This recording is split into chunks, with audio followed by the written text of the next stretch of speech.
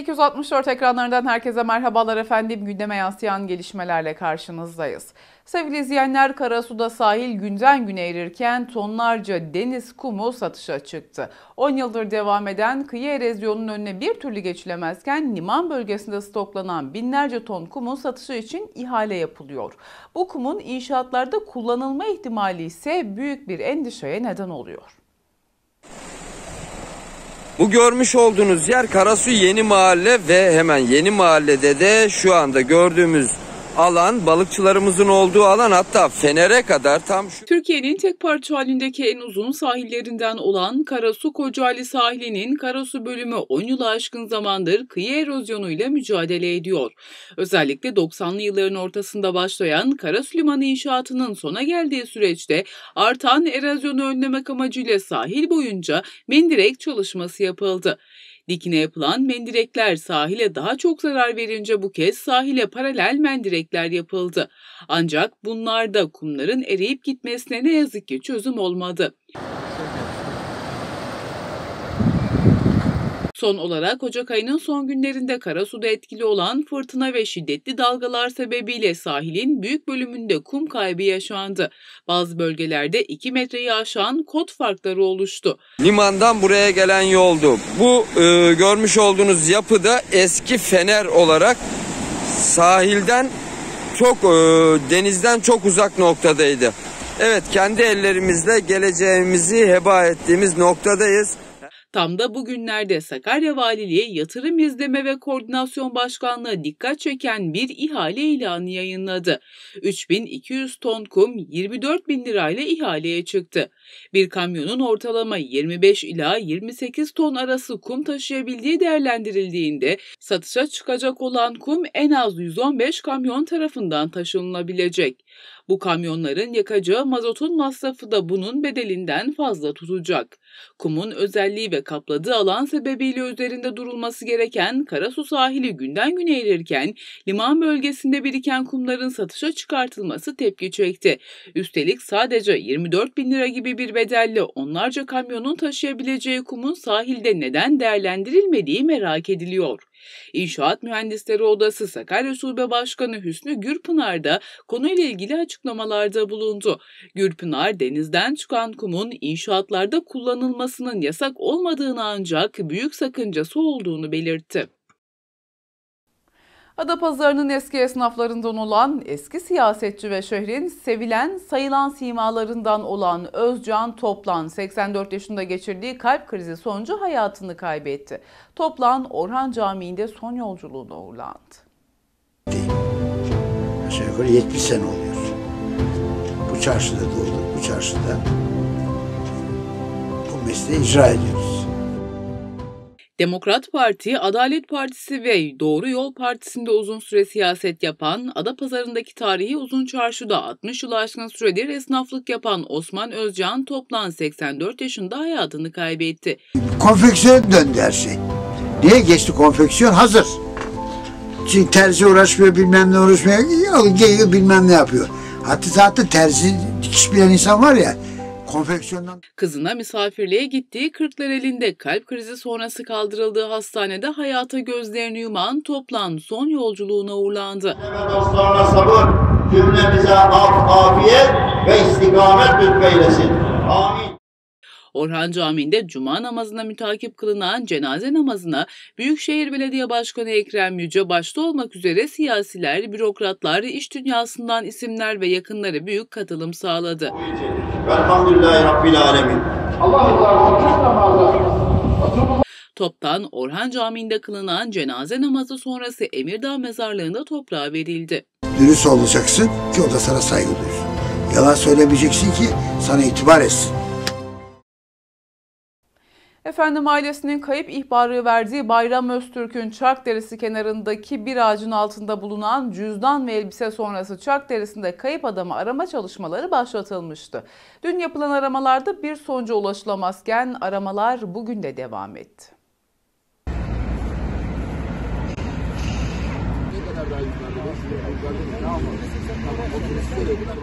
Dere kenarında cüzdanı bulunmuştu. Ekipler arama çalışmalarına aralıksız devam ediyor. Yaklaşık 5 gün önce kendisinden haber alınamayan 55 yaşındaki Bayram Öztürk'e ulaşamayan ailesi polis ekiplerine kayıp ihbarında bulunmuştu.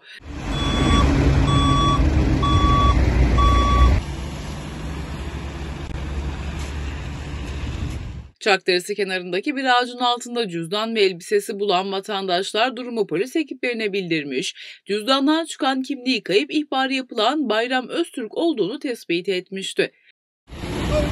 Oradan bak. Giyin, giyin, botla bakalım. Hadi, Geçeceksin. Polis ekiplerinin yaptığı inceleme sonucu kayıp şahsı Çark Caddesi'nde arama çalışması başlatıldı. Kocaeli'den gelen dalgıç polisler hava kararana kadar Çark Caddesi'nde kayıp şahsı aradı. Araba mı?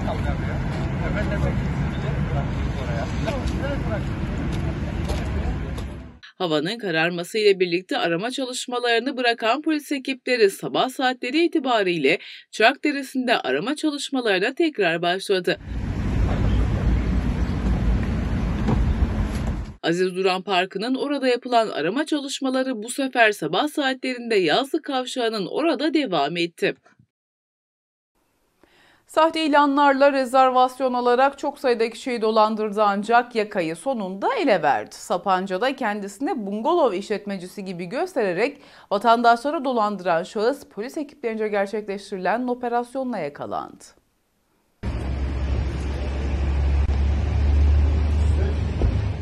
Kendisini bungalov işletmecisi gibi gösterip vatandaşları dolandırıyordu, yakayı ele verdi. Sapanca'da kendisini bungalov işletmecisi gibi gösterip birçok vatandaşı dolandırdığı tespit edilen 24 yaşındaki T'ye polis ekiplerince yakalandı.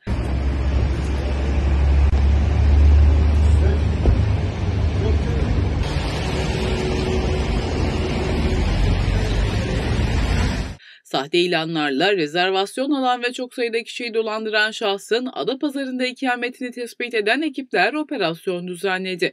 İkamette gerçekleştirilen aramalarda çok sayıda dijital materyal ele geçirilirken TY gözaltına alındı.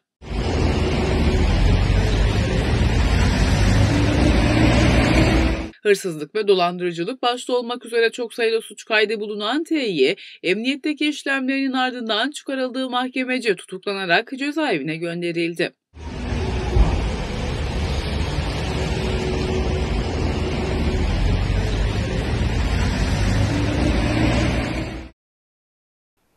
Sakarya Emniyet ekipleri tarafından huzur ve güven uygulaması yapıldı. Eş zamanlı operasyonda kesinleşmiş hapis cezası ve araması bulunan 14 şahıs gözaltına alındı.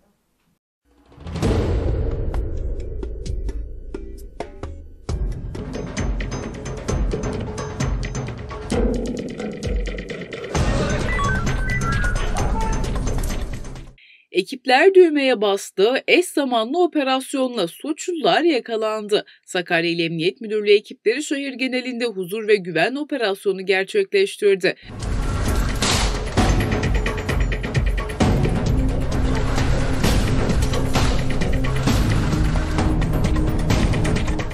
hırsızlık ve diğer suçlardan kesinleşmiş hapis cezası bulunan ve aranan kişiler drone destekli bir operasyonla yakalandı.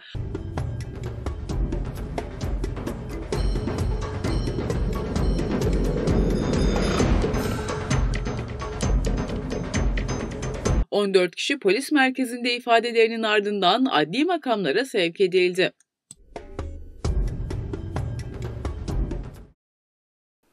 Bir kaza haberiyle devam edelim. Kaynarca'da otomobille kamyon çarpıştı efendim. Panik anlarının yaşandığı trafik kazasında bir kişi yaralandı.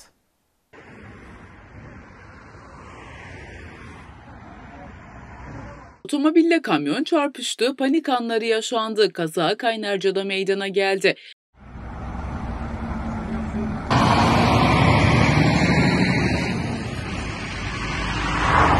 Kaynarca istikametinde ilerlemekte olan kamyonla HA idaresindeki otomobil çarpıştı.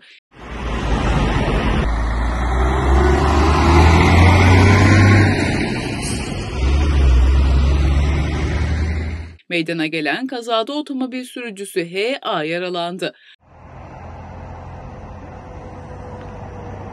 Konunun haber verilmesi üzerine bölgeye sağlık ve jandarma ekipleri sevk edildi. Yaralı sürücü bölgede yapılan ilk müdahale sonrasında Yenikent Devlet Hastanesi'ne kaldırılarak tedavi altına alındı.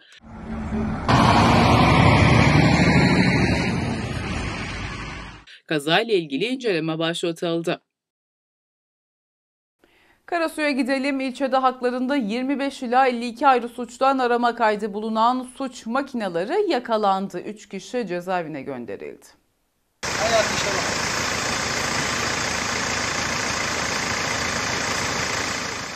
Haklarında çok sayıda arama kararı vardı. Suç makineleri operasyonla yakalandı. Olay Karasu'da yaşandı.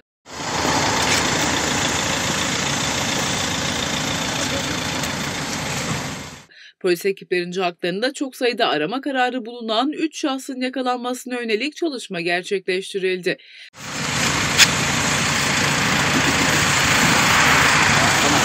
Çalışmalar kapsamında 52 ayrı arama kararı mevcut olan MK ve SS ile 25 ayrı arama kararı mevcut olan 3 şahıs yakalandı.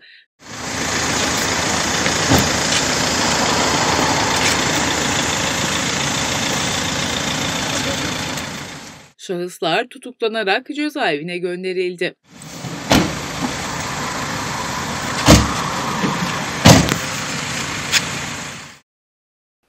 Koronavirüsle mücadele sürerken omikron varyantının etkili olması ile birlikte vakalar aldı başına gidiyor efendim. Sakarya'da günlük vaka sayıları bini geçti. Tabi bunun yanında pandeminin başında alınan tedbirler de unutuldu. İnsanlar maske takmazsa yani gezip her yeri gezerse olacağı buydu. Nasıl normal? Toplum bayağı bilinçsiz durumda. Şu an bile bende maskesin maalesef. Bıktık ya. Bir salın artık bizi ya.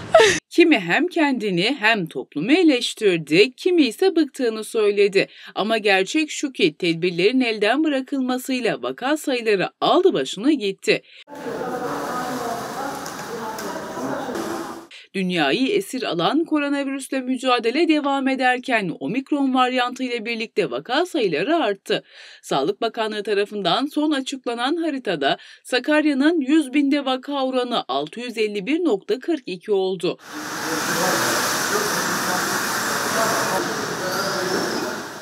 Bununla birlikte günlük vaka sayısı ise bini geçti. Vaka sayılarının bu kadar artmasının nedeni omikron varyantının çok kolay yayılması olarak gösterilse de vatandaşlar tarafından da tedbirler unutuldu. Ya bence vaka sayıları böyle gitgide artacak artacak sonra toplum bağışıklığı sağlanacak.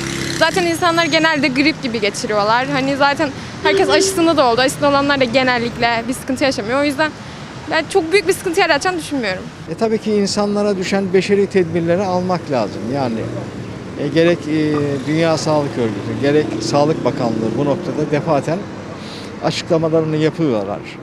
E, bu kurallara uymak lazım. E, uymadığımız sürece çünkü elle tutulur, gözle görülür bir şey değil. Nihayetinde bir mikropla mücadele ediyoruz. E, kendiliğinden hiçbir şey yok olmayacağına göre hiçbir şey kendiliğinden de var olmuyor. E, onun için bu vaka sayılarının düşmesi için bize düşen e, beşeri tedbirleri almamız lazım yani. E, İnsanlar maske takmazsa yani gezip her yeri gezerse olacağı buydu. Yani beklenmedik bir şey değil. E, maskeler takılmalı, aşı sayısı da bence arttırmalı. Biraz daha dikkat etmemiz gerekiyor. Maske, mesafe, hijyen gibi işlere dikkat etmemiz gerekiyor. İnsanların tedbirsizliği diyelim. Daha dikkatli olmalarını ve virüs hafife almalarını söylerim. Maske taksak bile çevredeki insanlar dikkat etmediği için yani bizim e, bir şeyler yapmamıza fayda etmiyor. Çünkü ki artık kimse dikkat etmiyor. E, kafelerde zaten tıklım tıklım. Kimi vatandaş maske takmamasına rağmen tedbirlere uymayanları eleştirdi. İnsanların dikkat etmesi lazım. Dikkat etmiyorlar. Yani maske takılmıyor. Halk arasında çok karışılıyor. Bunlara dikkat edildiği sürece olmayacak. Dikkat edilmesi lazım. Vaka sayılarının artması normal. Toplum bayağı bilinçsiz durumda. Şu an bile bende maskesin maalesef. Yani bir şekilde kendimizi toparlamamız lazım. Ya ama virüsün ölümcüllüğü de azaldığı için ya çok da büyük bir sorun olduğunu sanmıyorum artık bunun. 14 Şubat Sevgililer Günü'ne efendim malumunuz az bir zaman kaldı. Çiçekçilerde de hareketlilik başladı ama bu yıl etkili olan zam furyası çiçekçileri de etkiledi. Özellikle aşkın, sevginin simgesi gül bu yıl cep yakıyor.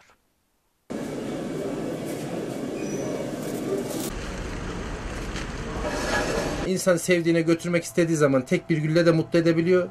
Bir milyarlık çiçekle de mutlu edebilir.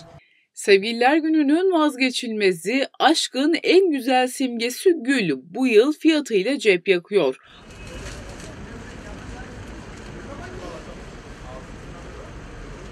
...14 Şubat Sevgililer Günü'ne az bir zaman kalırken çiçekçilerde hareketlilik başladı.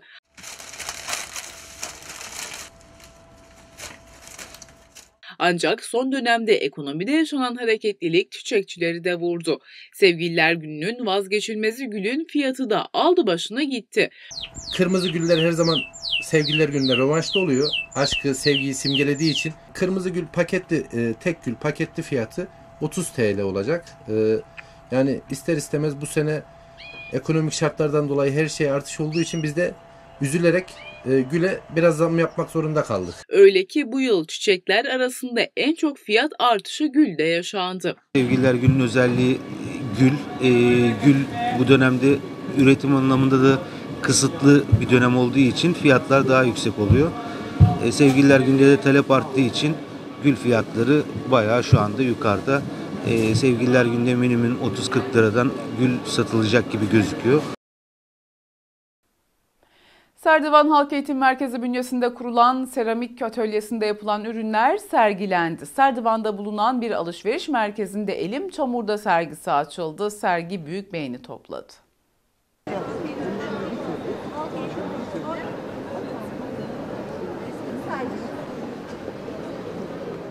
Hepsi el emeği göz nuru. Serdivan Halk Eğitim Merkezi tarafından Serdivan'da bulunan bir alışveriş merkezinde Elim Çamur'da sergisi açıldı.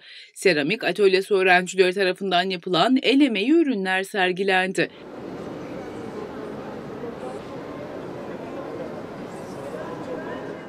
Sergiye Milletvekili Çiğdem Erdoğan Atabek ve Büyükşehir Belediye Başkanı Ekrem Yüce de katıldı. Sergide konuşan Serdivan Halk Eğitim Merkezi Müdürü Mehmet Sevinç, Serdivan halkına hizmet etmeye devam edeceklerini söyledi. 55 farklı noktada, 80'den 90'dan fazla sınıfta ve 200'e yakın usta öğreticimiz ile Serdivan halkımıza hizmet etmeye gayret ediyoruz. Milletvekili Çiğdem Erdoğan, Atabek Halk Eğitim Merkezi'nin kadınlara ekonomik gelir sağladığını belirtti. E, açıkçası gerçekten halk eğitim merkezlerinde muazzam güzel işler yapılıyor. Hem hanımlarımız boş vakitleri değerlendiriyorlar. Hem bunun ekonomik de şimdi e, biraz sonra da gezeceğimiz gibi e, ekonomik e, değeri de olması çok önemli. E, evlere, hanımlara böyle katkılarının olması çok önemli. Bir taraftan da sanatçılar yetiştirdiğimizi düşünüyorum. Büyükşehir Belediye Başkanı Ekrem Yüce'de yapılan çalışmaların el emeği göz nuru olduğunu söyledi. Biz biliyoruz ki Sakarya İl Eğitim Müdürü bünyesinde halk eğitim merkezlerinin çok ciddi gayretler gösterdiğini şahidiz. Bugün değil uzun yıllardır bu tür hizmetleri yaptığına bizzat şahidim. Bunlar çok güzel örnekler.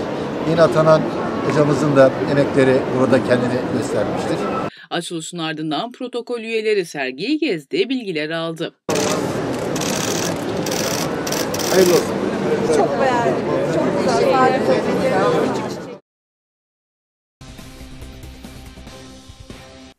Spor gündemiyle devam edelim. Kendi sahasında oynadığı son karşılaşmada saha olayları nedeniyle Profesyonel Futbol Disiplin Kurulu'na sevk edilen Sakarya Spor'un aldığı ceza belli oldu. Yeşil Siyahlılara 16 bin lira ceza kesildi. Sakaryaspor kendi evinde oynadığı Vanspor karşılaşmasında sağ olayları nedeniyle Profesyonel Futbol Disiplin Kurulu'na sevk edilmişti. Yeşil Siyahlılara 16 bin Türk lirası ceza verildi. İşte Türkiye Futbol Federasyonu'ndan yapılan o açıklama.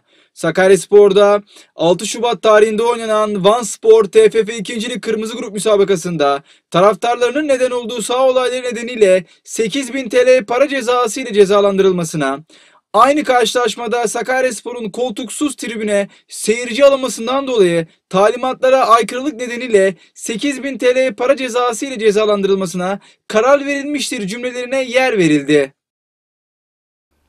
Geçtiğimiz sezon 2 yıllık sözleşmeyle Sakaryaspor'a transfer olan ve sezon sonunda takımdan gönderilen tecrübeli oyuncu Çağrı Ortakay alacakları için Türkiye Futbol Federasyonu'na başvurmuştu. Tahkim Kurulu konuyla ilgili kararını açıkladı. Geçtiğimiz sezon Karagümrük'ten 2 yıllık sözleşmeyle transfer edilen tecrübeli futbolcu Çağrı Ortakaya alacakları için Türkiye Futbol Federasyonu'na başvurmuştu. İtirazı değerlendirilen tahkim kurulu konuyla ilgili kararını açıkladı. Karara göre sözleşmesi devam etmesine rağmen takımdan gönderilen Çağrı Ortakaya'nın sözleşmesindeki fesih tazminatının 577.500 liranın 777.000 lira olarak düzeltilmesine karar verildi. Ayrıca maç başı alacağı olan 362.650 liranın faiz başlangıç tarihinin de 8 Temmuz 2021 olarak düzeltilmesine hükmetti. Efendim geçtiğimiz haftalarda Sakarya Spor Yönetimi ve İl Milli Eğitim Müdürlüğü tarafından hayata geçirilen Nehrin Çocukları projesi kapsamında öğrenciler Rüstemler tesislerine gelerek takımı ziyaret etti. Öğrenciler hazırladıkları pankart ve çizdikleri resimlerle Sakarya sporlu futbolculara başarılar diledi. Sakaryaspor'un gerçekleşen antrenmanında Rüstemler tesislerinde sürpriz misafirler bulunuyordu. Geçtiğimiz haftalarda Sakaryaspor yönetimi ve İl Milli Eğitim Müdürlüğü tarafından hayata geçirilen Nehrin Çocukları projesi kapsamında Atatürk İlkokulu ve Namık Kemal Ortaokulu öğrencileri tesislere gelerek antrenman öncesi futbolcularla bir araya geldi. Çalışma öncesi teknik heyet, futbolcular ve yöneticilerle sohbet etme imkanı bulan öğrenciler, hazırladıkları pankartlar ve çizdikleri resimlerle Sakaryasporlu futbolculara başarılar diledi. Bir öğrenci ise Sakaryaspor için yazdığı şiiri okudu. Futbolcular minik taraftarlarla fotoğraf çekildikten sonra çalışmaya geçerken öğrenciler ise bir süre antrenmanı takip ettikten sonra okula geri döndü. Ozan buradayım Ozan.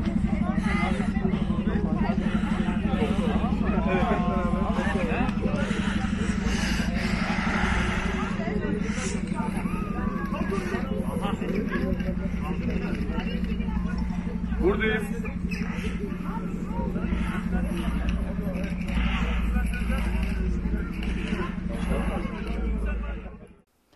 TFF 3. Lig 1. grupta mücadele eden Hendek Spor'da teknik direktör Talip Toprak'tan sonra teknik ekipten bir isim daha istifa kararı geldi. Kaleci antrenörü Eren Demir kulüpten ayrıldı. Geçtiğimiz günlerde Endekspor'da teknik direktör Talip Toprak görevinden istifa etmişti. Bu sürpriz gelişme sonrasında Endekspor'da teknik direktörlük görevine Talip Toprak'ın yardımcısı Gökhan Kaba getirildi. Endekspor'da kaleci antrenörü olarak görev yapan Eren Demir görevinden istifa edip aynı grupta yer alan Bursa Yıldırım Spor ile anlaşma sağladı. Endekspor'da kaleci antrenörü olarak Talip Toprak'ın ekibinde görev yapan Eren Demir'in Talip Toprak'ın görevden ayrılması sonrası takımda devam etmesinin etik olmayacağını düşündüğünden dolayı böyle bir karar verdiği öğrenildi.